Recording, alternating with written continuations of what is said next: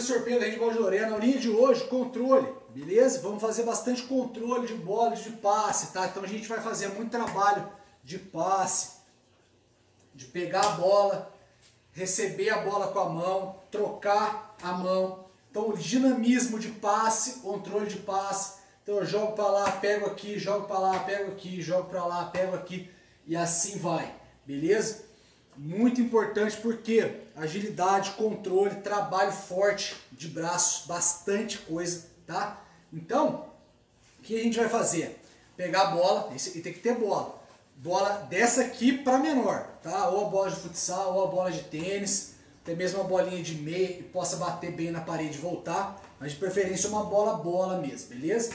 E a gente vai fazer aqui parede, tranquilinho, vai escolher um quadrante aqui, por exemplo, e vai fazer o passe. Então eu tô no passo.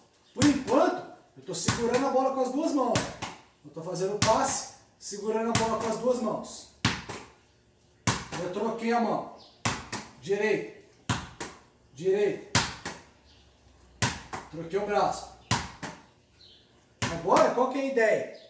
Jogar com uma, segurar com a outra. Jogar com uma, segurar com a outra.